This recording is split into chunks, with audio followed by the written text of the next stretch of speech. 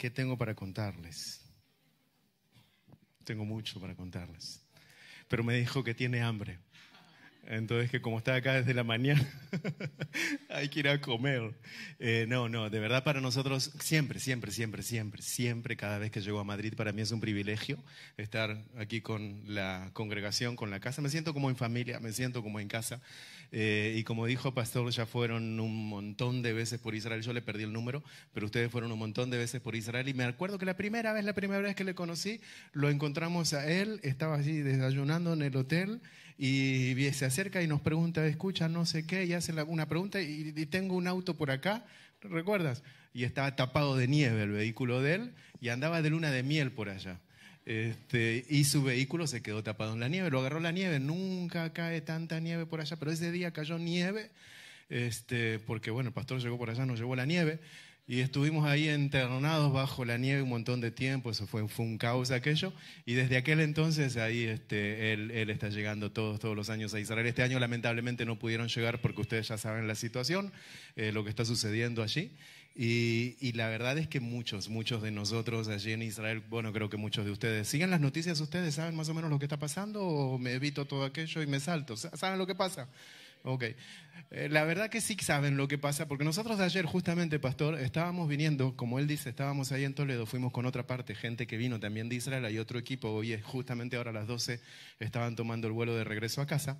Eh, y entonces ayer anduvimos por aquel lugar y cuando regresamos a la tarde, eh, nosotros estamos alojados por la zona de Gran Vía y el, el, el, bus que nos estaba retornando eh, se queda como atascado en un lugar, porque un montón de policías en aquel sitio, y eh, entonces la, la, persona que, que, nos estaba llevando nos dice, hay una manifestación, bueno, no nos dijo de qué, entonces digo, hay una manifestación, el bus no les permite a ustedes bajar, habíamos algunos de Israel ahí adentro, no les permite a ustedes bajar, tienen que dar la vuelta con el autobús, el policía no les permite estarse por este lado. Así que caminen por ahí y van a llegar caminando, pues sigan derechito aquí caminando, van a llegar. Claro, lo que nunca nos dijo que nos íbamos a encontrar con lo que ustedes vieron en las noticias.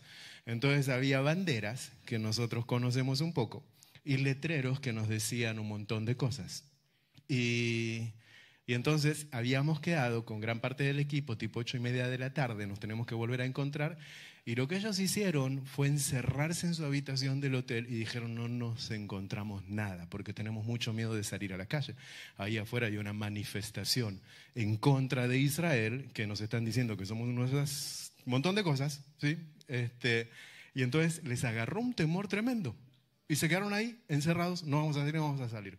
Entonces nosotros agarramos con amor y dijimos, no, vamos a entrar ahí adentro, vamos a ver de qué se trata esto, porque eh, tenían letreros que no estaba muy claro lo que estaban diciendo y por qué estaban diciendo lo que estaban diciendo. Así que empezamos a preguntar ahí a la gente. Y, y, la verdad que, bueno, nos encontramos con cosas ahí que no estaban muy bien seguros. Algunos decían, no nos animamos a hablar porque tenemos un letrero aquí en la mano que sostenemos, pero no sabemos lo que dice este letrero, en definitiva. Pero acá estamos porque estamos.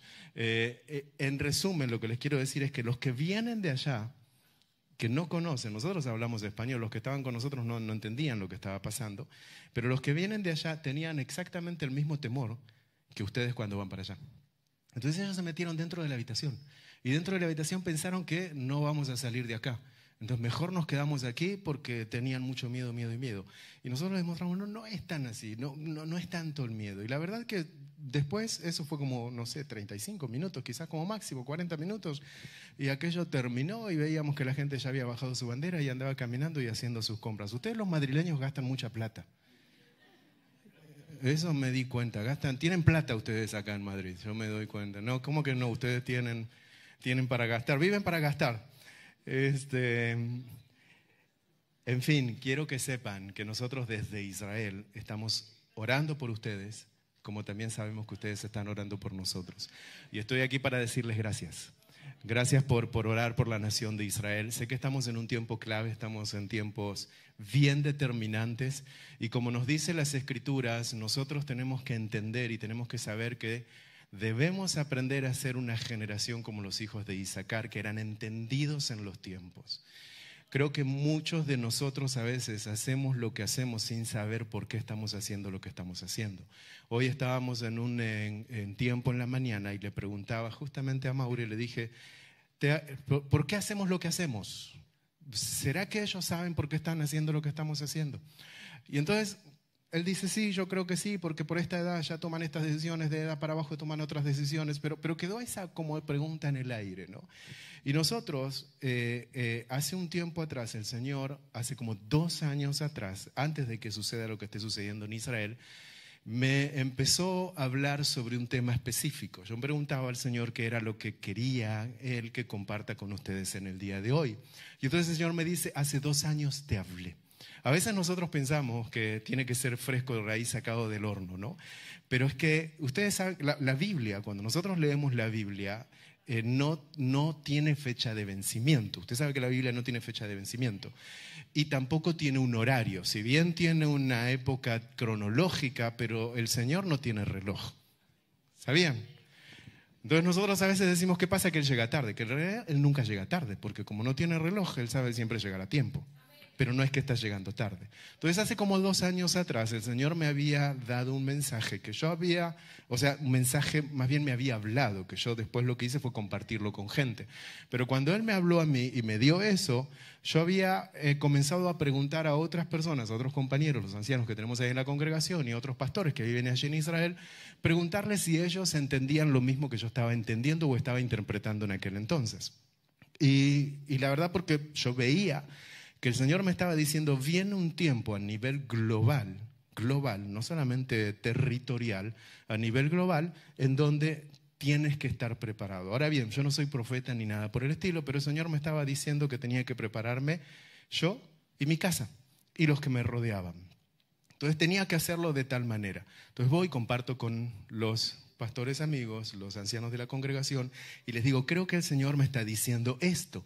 ¿Qué es lo que ustedes sienten? Se pusieron a orar, nos pusimos a orar, empezamos a ver qué es lo que estaba pasando y sorpresivamente eh, para nosotros muchos de esos eventos que el Señor nos estaba marcando comenzaron lentamente a acontecer, como lo que nos está pasando ahora en la nación de Israel. Ahora, muchos de nosotros, yo tengo una noticia para ustedes, no sé si ustedes saben que nosotros como creyentes, como hijos de Dios, tenemos a veces un concepto erróneo, antes de darles la noticia, a veces tenemos como un concepto erróneo en donde se nos dice que si tú llegas al Mesías o si conoces a Jesús, absolutamente a todos tus problemas se borraron y no vas a tener ningún tipo de inconveniente, como que vas a ir sobre un camino súper fino. O sea que no vas a tener ningún problema. ¿Ok? Y cuando nosotros llegamos al Señor, repentinamente nos empiezan a pasar cosas raras. Yo no sé si a ustedes les pasa.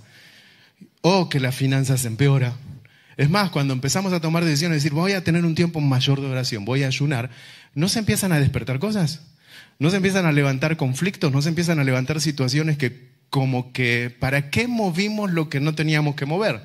Y entonces empiezan a suceder situaciones que nos empiezan a complicar y a veces ese tipo de situaciones que nosotros no queremos que se levanten porque puede ser muy pesado lo que se nos viene en ese momento, preferimos detenernos ahí y dejarlo a un costado. Recuerdo una vez, hubo una época que con la esposa mía, nosotros todos los días a las 10 de la noche nos habíamos tomado una decisión de decir, tenemos que reunirnos en la sala de la casa para tomar un tiempo de oración.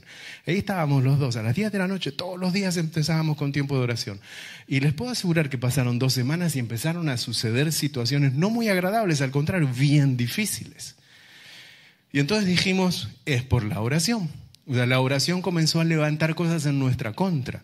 Pero nos dimos cuenta que si nosotros dejábamos de tener aquel tiempo, entonces aquel iba a ganar mayor terreno. Y si aquel ganaba terreno, entonces, ¿qué habíamos logrado? Simplemente dos semanas de cansancio, intentar despertar el asunto, lo tapamos y seguimos para otro lado.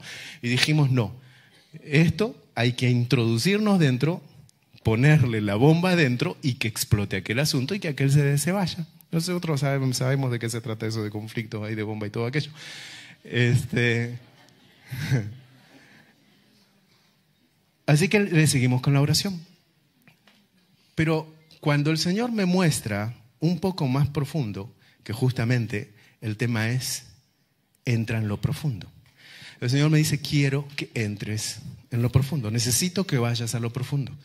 Si tú no vas a lo profundo, no vas a estar listo para compartirles a otros de lo que hay en lo profundo. Yo escuchaba eh, lo que comentaba eh, una de las chicas que estaba aquí en el, servicio de worship, que el testimonio que ella pudo dar, porque simplemente decidió entrar en lo profundo. Eh, y quiero, quiero explicarles eso desde, desde este punto. No sé si ustedes, como les dije, nosotros cuando llegamos al Señor generalmente tenemos situaciones que son conflictivas, pero seguimos permaneciendo en el Señor a pesar de que a veces haya conflictos. ¿Por qué? Porque estamos seguros que estamos en el camino correcto. ¿Ok? Hay algunos que por ahí decían, no, esto no es para mí, me voy. Pero hay otros que dicen, estoy en el camino correcto, lo encontré, es ahí, por más que venga la situación que me sobrevenga, allí estoy. Pero que no es fácil, no es fácil. Pero hay, hay varios puntos de cómo enfrentarse y cómo prepararse para eso. Nosotros, como nación, eh, el territorio de Israel, más del 50% de la población está alistada en el ejército. Entonces, cada vez, una vez al año, tú tienes que prestarle servicio al ejército cuando tú terminaste tu servicio militar. Tanto varones y mujeres, todos, absolutamente todos, tenemos que prestarnos 35 días en el ejército todos los años. Es decir, que más del 50% de la población en Israel es soldado. Dentro de la iglesia, dentro del reino, todos somos soldados. ¿Es así o me equivoco? No hay un 50%. No solamente el pastor, no solamente el grupo de alabanza son soldados, sino que todos somos soldados de quién. Ok. Pero a veces lo decimos verbalmente, pero no entendemos el concepto. O sea, ¿cuándo fuimos alistados? ¿Quién es nuestro general? ¿Quién es nuestro capitán? Decimos es él. Pero a veces nosotros eh, nos mezclamos con los conceptos. Y ustedes saben que muchas veces, en realidad, quiénes somos los encargados, quién es el capitán, quién es el encargado de ese soldado, somos nosotros mismos, que tenemos que rendirles cuentas al Creador por sobre todas las cosas. Entonces, cuando nosotros entendemos que si somos soldados, sabemos que tenemos que estar listos para una batalla. ¿Es así o no? O sea, ¿el soldado para qué tiene que estar listo? ¿Para simplemente pararse en la puerta del gobierno para que le saquen fotos? No. Está preparado para cuando se levante un conflicto, él sabe qué rol tiene que cumplir dentro del escuadrón que le tocó estar. Cada uno de nosotros Usted que está sentado ahí tiene un rol. Y si yo le pregunto cuál es su rol, ¿usted me lo sabe decir? No lo sé, es pregunta retórica. Cada uno de ustedes sabe qué tipo de respuesta tienen para dar y cuál es su rol dentro del reino. Pero que usted es un soldado es un soldado. Si sabe cuál es su tipo de rango, no lo sé. Usted mismo lo va a tener que investigar con aquel que lo creó. Pero el punto es que tenemos que estar absolutamente todos preparados para la guerra espiritual, no física, espiritual. Hace dos años atrás, el Señor me había mostrado que yo no estaba preparado para la guerra espiritual, que iba a venir un tiempo, no solamente en mi vida espiritual, sino en la vida que nos, de los que me rodean, o sea, de la familia, bastante golpeado. ¿Por qué? Porque el Señor quería utilizar un proceso en nuestra vida para sacar bendición a otros. A veces nosotros no nos damos cuenta, pero cuando estamos involucrados en situaciones conflictivas, no es porque caímos de repente en un pozo, es porque simplemente es parte de la formación del Señor para ser de bendición a otros. Y cuando te das cuenta que estabas en un pozo, solamente el que sabe salir de él está deseando caer en otro pozo. Eh, parece loco lo que les digo, ¿no? Es decir, ¿cómo saliste de ese pozo y te querés meter en otro pozo? Sí, porque en ese pozo tuve una experiencia que la quiero volver a repetir. Porque me encontré con alguien que en ese pozo me formó, me preparó, me seleccionó y me mostró algo completamente diferente. Pero no todos quieren ir a los pozos. Pero la verdad es que todos en algún momento de la vida van a caer en un pozo. Así que si escuchaban, querían que yo les traiga una buena noticia, les estoy dando una mala. La mala es que cuidado con los pozos, que por ahí afuera hay unos cuantos, que pueden llegar a caer en uno de ellos. El, Señor me había dicho, tienes que prepararte porque vas a entrar en un terreno complicado. Nosotros estábamos en la congregación allí en Israel y estábamos trabajando muy duro ya por varios años y estábamos bien, bien, bien, bien enfocados en el ministerio local. Y el Señor entonces me dice que tome, que ceda, que dé un paso al costado, que me retire por un tiempo y que entre en lo profundo. Entonces lo que hice fue hablar con la congregación, hablé con los ancianos, con el liderazgo allí local y le dije, por seis meses me voy a tomar un descanso. O sea, no era un descanso, me voy a retirar de todo tipo de decisión, de todo tipo de liderazgo, de todo tipo, de todo lo que haya que hacer en la congregación, olvídense, no existo. No quiere decir que me voy a ir por ahí a pasear por el mundo, voy a estar siguiendo, o sea, voy a seguir llegando a los servicios, me voy a sentar por allí, pero no voy a ser parte de ninguna decisión de lo que esté pasando en el escenario. Entonces me tuve que desaparecer por completo, seis meses, para comenzar a entrar en lo que el Señor me había pedido que entre. Ahora, eso me lo pidió a mi pastor, no, no, no, tienes que hacerlo por acá, mi personalidad es medio loca. Entonces el Señor me dijo, quiero que tú lo hagas. ¿Por qué? Porque yo soy de aquellas personas que pienso que si no estoy, la cosa no funciona no, no, no sabía delegar. Hasta que tuve que aprender. No sé si hay gente aquí que, cree que si yo no hago esto, si yo sé que tiene que tener tanta cantidad de sal para que todos coman. ¿No? Si yo no le pongo esto, no hago aquello, no hago esto, si no le pongo el cable, no hago, no miro cómo está el baño, tengo que estar ahí. Y lo que lograba era un cansancio físico que no estaba ejerciendo en lo espiritual, dentro de la casa, lo que tenía que ejercitar y lo que como resultado tenía situaciones y confrontamientos es, no está pasando esto, no estamos teniendo resultados en esto, no está funcionando esto, no está funcionando lo otro. Y entonces lo que en definitiva era que estaba dando mucho por acá y menos por acá. Equilibrio se le llama aquello. Y cuando nosotros, los varones, estamos teniendo problemas en la casa, quiere decir que hay algo, hay algo que seguramente estamos haciendo mal, muchachos. Así que no se sientan como que, oh, esta mujer, Señor. No, no, hay algo que hicimos mal. Entonces simplemente es, a ver, veamos, ¿qué es lo que estoy haciendo mal? Pues si tú comienzas a hacer las cosas bien, el ambiente va a comenzar a cambiar por completo. Somos capitanes de ese asunto. ¿Ok? Ahora, el Señor me dijo, hace dos años atrás, necesito que por ese momento te ancles. No era que te vas a ir a tal nación, te vas a mover por esto, vas a hacer aquello, vas a llevar el extender la estanca, la, sitio de tu tienda. Eso es lo que todos queremos escuchar, ¿no? Cuando nosotros nos encerramos y hablamos con el Señor, queremos escuchar que el Señor va a hacer esto, nos va a perdonar las deudas, se van a borrar las cuentas del banco, de repente va a crecer dinero de acá por allá. No lo sé, cosas así van a suceder. Pero el Señor me dijo, plum, quieto, estancado, ancla. Dije, no, ¿cómo puede ser posible? Seis meses te estoy dando y me está diciendo que en esos seis meses tengo que poner un ancla, que tengo que quedarme quieto. Sí, ancla. Porque viene un tiempo diferente. Ahora, yo vivo en el desierto. Yo nací en Argentina, pero vivo en el desierto. Y tuve que empezar a buscar, quería tratar de entender esto del concepto del ancla, que era lo que estaba tratando Dios de decirme. Y entonces me puse a buscar por ahí por el diccionario para qué sirve un ancla. Ah, empecé a compartir con algunos de los muchachos que conocía por allí y me decían, mira, cuando un barco vas a ver la punta, tiene un ancla aquí, un ancla aquí, significa que tiene una gran cantidad de peso y que por eso le ponen dos el tamaño y todo lo demás y tienen uno. En definitiva, todas las anclas cumplen una misma función, ¿sabían? ¿La función de un ancla cuál es? O sea que eso es el final del asunto. Es cuando el barco se sale de la costa, y se pone mar adentro, lo que tiene que hacer para que se quede estable, llamémosle que no se vaya a la deriva, tiene que soltar el ancla. Entonces, si tú sueltas el ancla, llega la noche, te vas a dormir y al otro día, a la mañana, cuando el equipo se levanta, el barco está en el mismo lugar o se fue. ¿Cómo puede ser posible si tenemos mar por todos lados? Hay una profundidad increíble. Una cosita tan pequeña puede sostener una cosa tan grande. ¿Cuál es el secreto? Tanto agua que tenemos debajo y no nos mueve, no nos lleva a la deriva. Es eso pequeño que hace que sostiene todo aquel barco.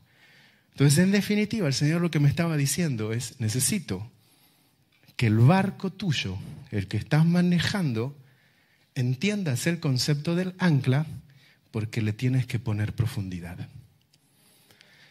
Entonces dije, ok, profundidad. Y ahí me di cuenta de algo en las escrituras. Empecé a buscar en las escrituras, traté de buscar dónde hay anclas. Hay anclas, ¿eh? si buscan en las escrituras se van a encontrar con, cosas relacionadas con el ancla. Pero empecé a buscar en las escrituras, dije, ¿qué tiene que ver el ancla con esto? ¿Por qué me tengo que quedar quieto? ¿Por qué me tengo que quedar estable? ¿Por qué me tengo que quedar estancado? ¿Cuál es el punto? ¿Cuál es el punto, Señor? ¿Qué es lo que está viniendo? Entonces el Señor me dice que si yo no aprendo a utilizar el ancla, es porque no quiero entregar el control. Es decir, si tú no sueltas el ancla, no estás entregando el control a Él. Me mostró esto. Era la época del verano. Estábamos en la casa preparando la piscina para los niños. Bueno, niños, ya no tan niños. Uno de ellos en el ejército, otra entra ahora en el mes de agosto y el otro pequeño también va rumbo para aquel, para aquel lado. Pero hace como dos años atrás estábamos preparando la piscina y cuando preparábamos la piscina, entonces empezamos a llenarle agua.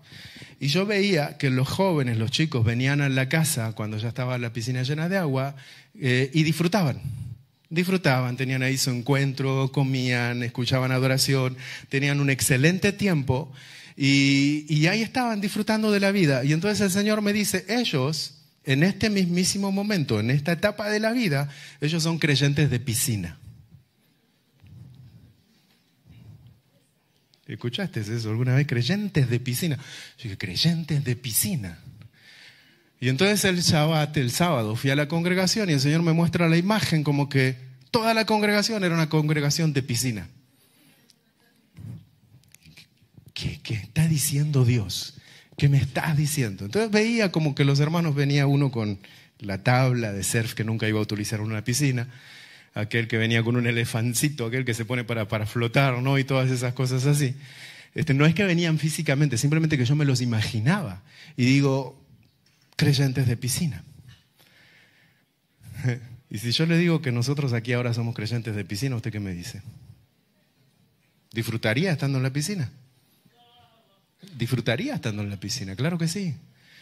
¿Por qué? Porque tendría su tiempo de coinonía con este, con aquel, conocería mucho más a esta persona, estaríamos teniendo nuestro tiempo de adoración, estaríamos teniendo a alguien que nos, siempre nos esté dando como un consejo, una palabra de ánimo. Pero saben que el tiempo de piscina no dura toda la vida. El tiempo de la piscina son dos, tres horas, el fin de semana nos reunimos y terminó. Al otro día hay que salir a trabajar. Ahora, yo no me llevo a la piscina ni tampoco me llevo a los compañeros de la piscina, sino que yo me voy solo. Entonces el Señor me decía, es que en la piscina no se necesita ancla. Tú no vas a ver absolutamente a nadie que vaya a una piscina que tenga un ancla. ¿Por qué? Porque nos tenemos uno a los otros. La Biblia nos dice que donde dos o tres están reunidos, ahí estoy yo. Pero si yo me estoy saliendo a la realidad, que me fui de la piscina, ya está, ya no me voy con todo el equipo aquel que estaba, me estoy yendo, me estoy yendo el lunes al trabajo, me estoy yendo el lunes a la universidad, estoy en el martes en el trabajo, universidad o lo que fuese, entonces yo estoy entrando en lo profundo, porque me voy solo. Y ahí es donde yo tengo que aprender a activar el ancla. Y si yo no sé activar el ancla, entonces soy fácil de ser llevado a la deriva. ¿Me explico? Porque por estar con conversaciones con otros que están en lo profundo, que me están atrayendo a lo profundo, que en realidad si yo no conozco lo profundo, puedo ser derivado, puedo ser llevado a la deriva por ellos, o puedo quedarme estancado y ponerme firme y dejar que pase el agua, dejar que pasen las horas y no recibir ningún tipo de interferencia de ellos. Y al contrario, lo que va a suceder es algo que nos sucede aquí en las Escrituras. Miren, yo quiero que vayamos juntos al libro de Lucas, capítulo 5,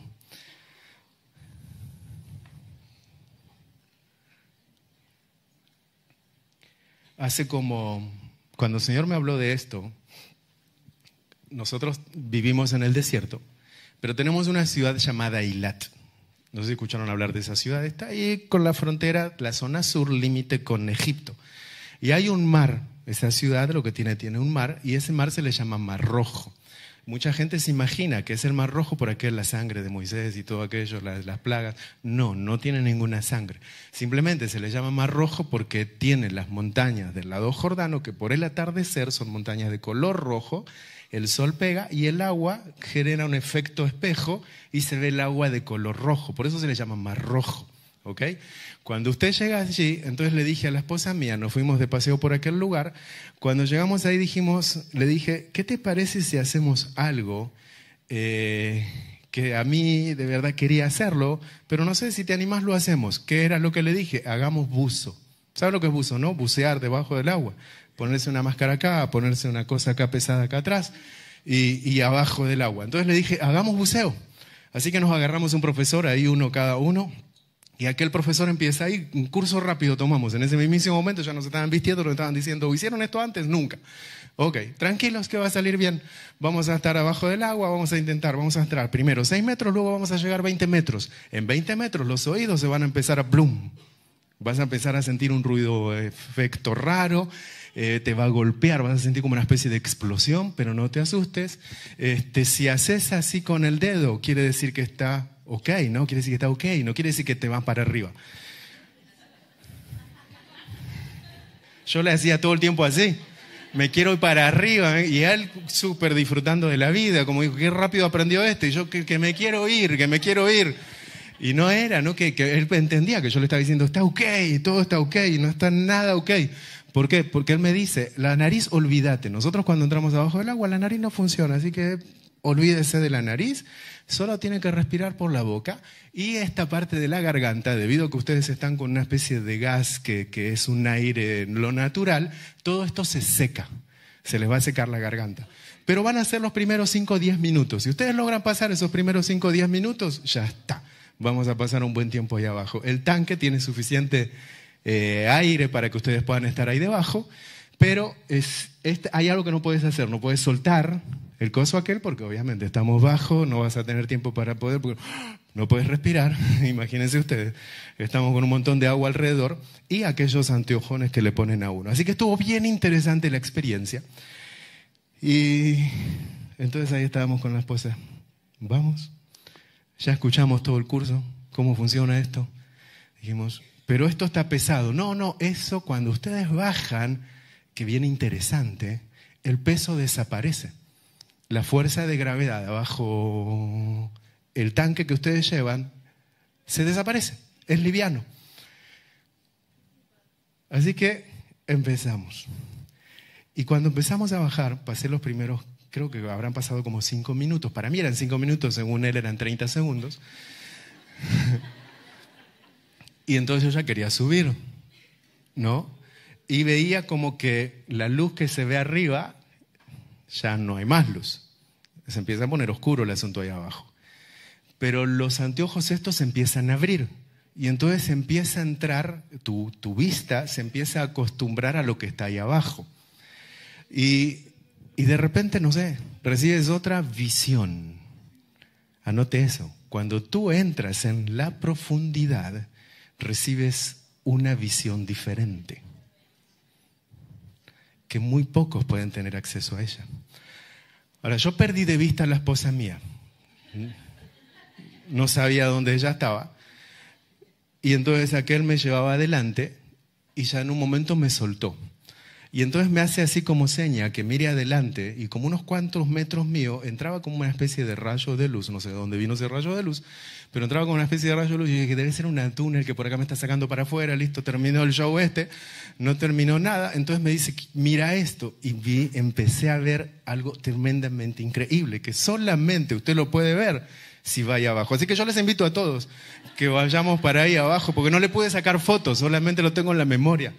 Entonces llegué ahí abajo y hay unos corales increíbles. ¿Vieron lo que ustedes ven por el National Geographic? Entran con las cámaras ahí abajo. Bueno, nosotros vimos eso, unas, unas cosas increíbles, pececitos de colores. Estaba aquel del famoso ese naranjita que sale y se mete. Increíble, increíble. Entonces uno llega con las manitos, quiere tratar de tocar y no, no, no, no, porque eso es naturaleza, no se puede tocar. Pero era tremendamente increíble. Entonces cuando salgo, cuando terminó todo aquello, bien contento que lo había logrado, la experiencia que había tenido, todo me había quedado en la memoria. Entonces veo a la esposa mía y digo, wow, salió antes que yo, qué bueno, lo logró, qué, alegría. ¿Cómo te fue? Que nunca entré. Todavía estoy intentando respirar afuera del agua. Bueno, mal que no está acá, si no ya me hubiese bajado el escenario. Pero miren, ¿sabe lo que pasó? Que después en el retorno yo le empecé a compartir a ella mi experiencia de la profundidad. Y le fascinó escuchar eso. Porque pude compartirle la experiencia.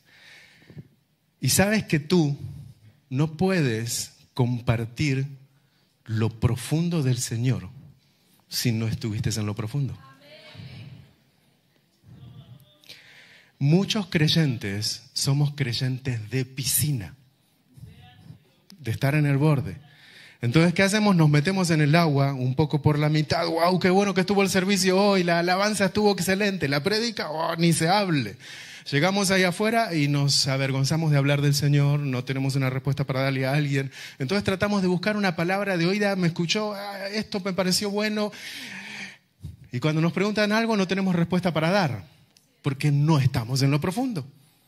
Entonces no conocemos la profundidad del Señor. Y si no conocemos la profundidad del Señor, lo que vamos a estar deseando es que llegue el próximo domingo para llegar nuevamente a la piscina y otra vez disfrutar de la piscina y los compañeros y el consejo y el abrazo y cómo te fue esta semana y qué tal estuvo y todo lo demás. Pero la realidad, la realidad es que el creyente de piscina es bien bueno, pero no puede vivir siendo creyente de piscina. Nosotros aquí recibimos entrenamiento, recibimos palabras, recibimos guías, recibimos consejos, recibimos absolutamente todo. Pero cuando tenemos que ir al centro, cuando tenemos que ir al medio, allí estamos solos y estamos representando el grupo de la piscina. Y si nos vamos para allá y están en lo profundo y no sabemos cómo hacerle, entonces podemos estar todo el tiempo en la piscina dándole vueltas. Libro de Lucas, capítulo 5, verso 1 al 11. Hay una historia bien interesante. Yo se la voy a leer rápido. Aconteció que estando Jesús junto al lago de Genezaret, el gentío se agolpeaba sobre él para oír la palabra de Dios y vio dos barcas que estaban cerca de la orilla del lago. Y los pescadores, habiendo descendidas de ellos, de ellas lavaban sus redes. Y entrando en una, entrando en una de aquellas barcas, la cual era de Simón, bien interesante que nos está diciendo de quién era la barca, que era de Simón Pedro, le rogó que le apartase de la tierra un poco. ¿Se dio cuenta lo que pidió el Señor? ¿Se dio cuenta o no se dio cuenta?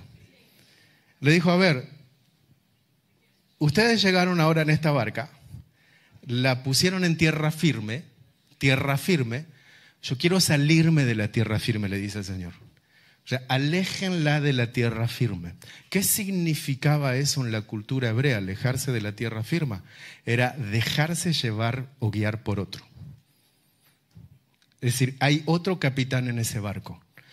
El Señor lo que les está demostrando a ellos es, no tengan pena, porque de acá me pueden escuchar, si yo me muevo unos cuantos metros para atrás, también me van a poder escuchar. Quizás puedo visualizar diferente, pero me van a escuchar igual.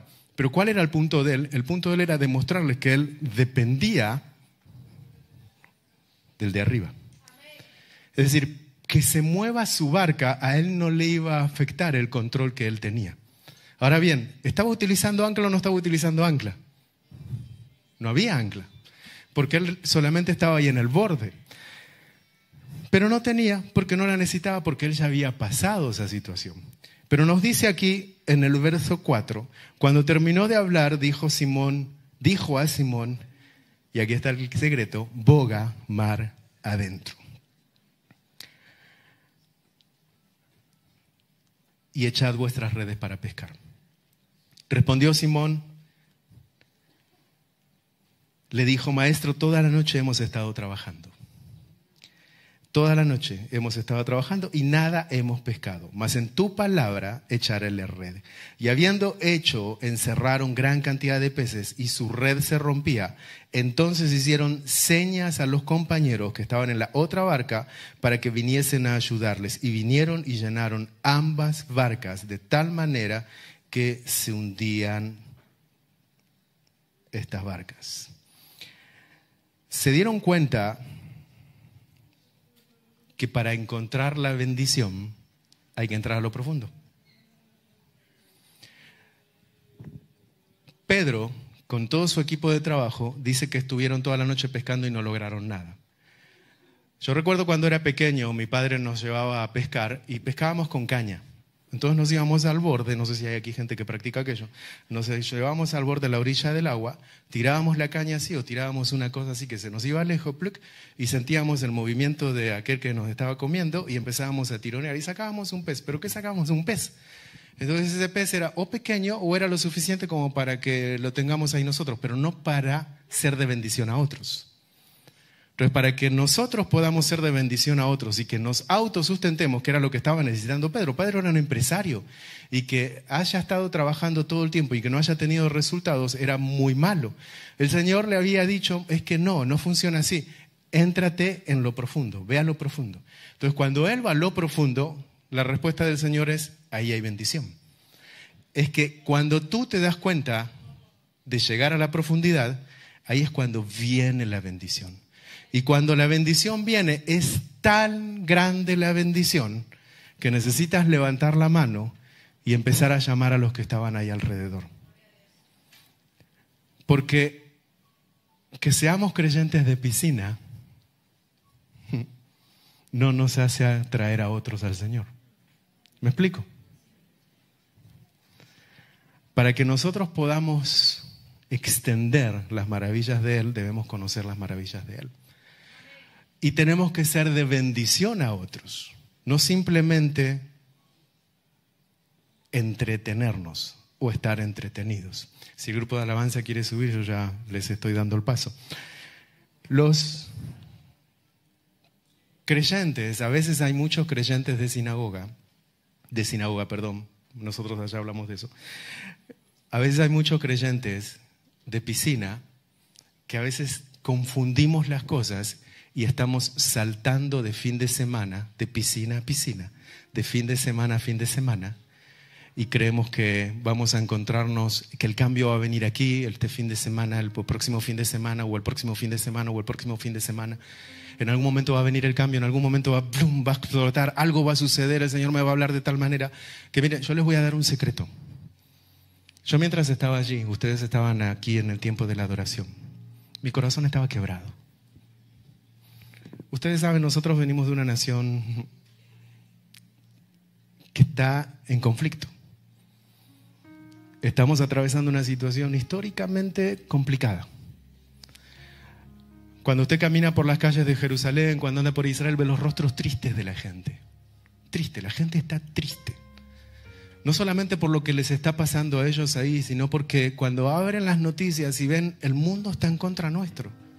¿Cómo puede ser que no nos estén entendiendo? ¿Por qué? Somos el pueblo elegido, somos los primogénitos, somos la tierra de Israel, vaya, ¿qué pasa con la gente? ¿Por qué los creyentes incluso se están levantando hasta en contra del territorio de Israel? Y estamos allá y queremos traerle ánimo a los hermanos y a la gente y a ellos y digo, no se puede, a veces no se puede, pero que el Señor ya me había alertado hace dos años atrás y me dijo, si tú no entras en lo profundo, entonces no vas a poder de ser bendición a otros. Te vas a desgastar, te vas a... Esto que decía pastor de la puerta abierta, es porque entramos en lo profundo. Y por haber estado en lo profundo, el Señor nos empezó a dar una visión que no teníamos. Pero ¿sabe qué? El estar en lo profundo y tener el ancla bien puesta y saber cuándo presionar el botón. El ancla obviamente ustedes ya se den cuenta a este punto que es Yeshua, que es el Señor. Si tú no tienes el ancla en tu barca, siempre una barca tiene un ancla. Una embarcación siempre va a tener un ancla, una buena, ¿no? Pero algunos la tienen como para la foto. Cuando tú estás, el barco puede estar en la orilla, pero el barco en la orilla no necesita ancla. ¿Qué necesita el barco en la orilla? Tirar una soga y amarrarse a un pilón que hay por ahí. Y ahí se queda amarrado. ¿Por qué?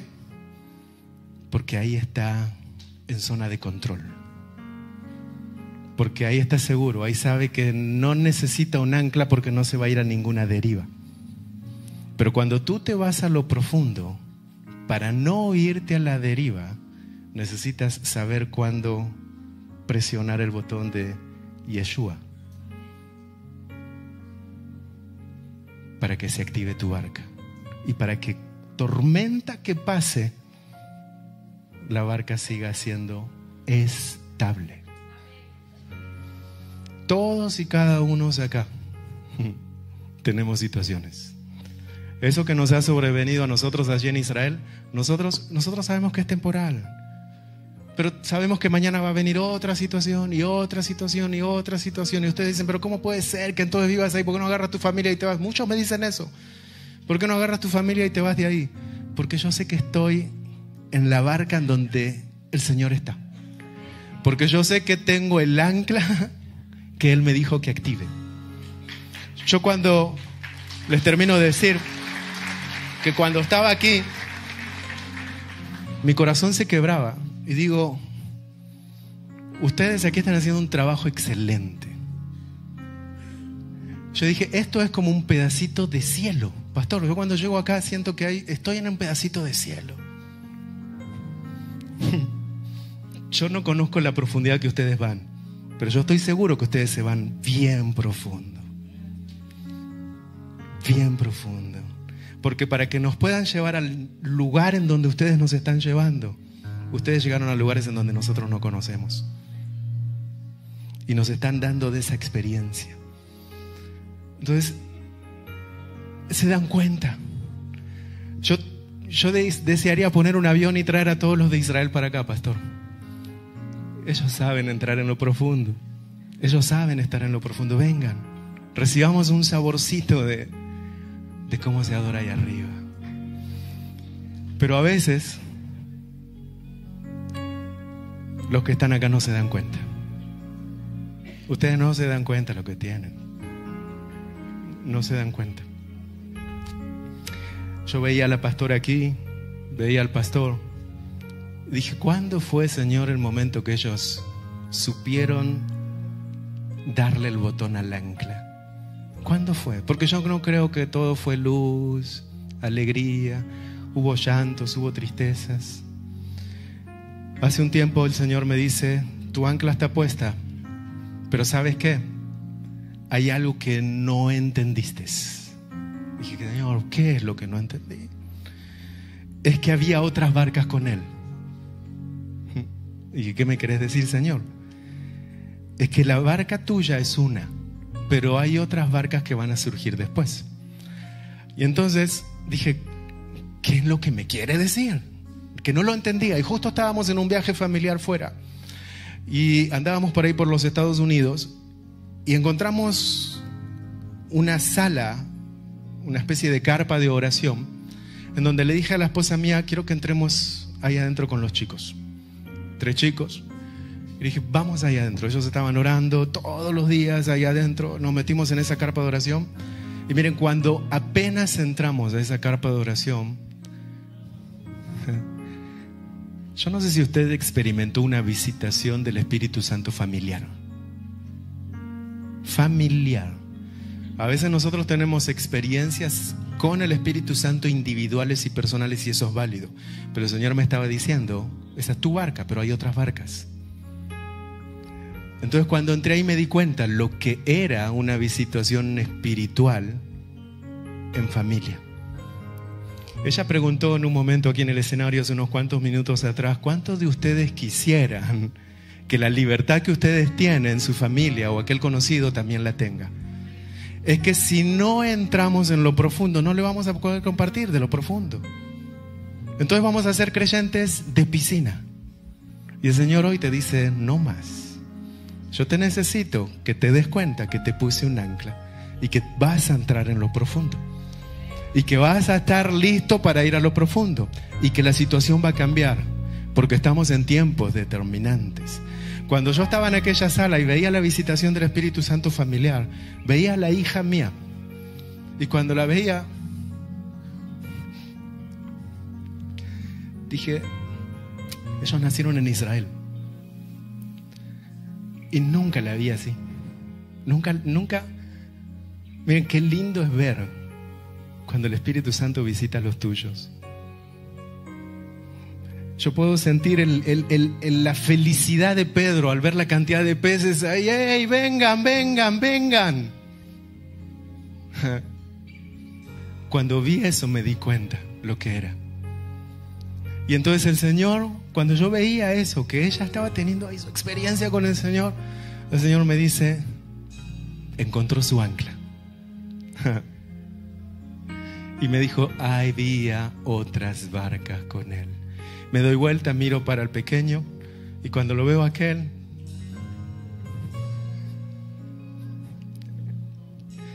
él me vuelve a decir, encontró su ancla. Miren, no me puedo explicar. Sentí como que aquellos cosos que nos ponen ahí de aire, el buzo, que se va el peso, porque supimos presionar el botón para bajar el ancla en tiempo. Así que yo estoy aquí para decirte, ya no más creyente de piscina. Está bien venir, empujar, impulsar. No quiero decir que dejen de venir al servicio, no me malinterpreten por favor. No, lo que estoy diciendo es que tenemos que entender cuál es nuestro rol. Porque no le podemos cargar solamente a los que están en el escenario. Ellos pueden orar, pueden doblar rodillas, pueden ayunar, pueden proclamar, pero el Señor te está diciendo, tu barca, los que están contigo en tu casa, esos quiero alcanzar. A esos necesito llegarles. Y cuando tú te das cuenta que finalmente te entra el temor y viene la tormenta y la situación se pone complicada, porque tener el ancla no quiere decir que no va a haber tormentas. Pero tener el ancla quiere decir que vas a estar firme en medio de la tormenta. Y cuando te entre el temor, cuando te entren los nervios y cuando la situación se ponga complicada y cuando digas ya no más, recuérdate que Él está ahí en la barca contigo. Lo único que tienes que ir a hacer es, Yeshua, te toca controlar a ti ahora el asunto. ¿Y saben qué es lo que va a hacer? Lo que Él sabe hacer. Nunca nos va a dejar en vergüenza. Él se va a poner en pie y le va a decir a la tormenta silencio y al agua le va a decir cálmate porque yo estoy en esta barca. Yo estoy en esta barca. Así que si tú quieres presionar el botón del ancla, ponte de pie. Dios de Abraham, de Isaac y de Jacob. Gracias Señor te damos. Gracias Señor te damos por este tiempo. Señor, gracias porque tú eres, tú eres nuestro jefe, coronel, general, creador. Tú eres nuestro Salvador, nuestro Mesías, nuestro Rey de Reyes, nuestro Señor de Señores. Tú eres Señor el principio, el final, tú eres el todo por sobre todo.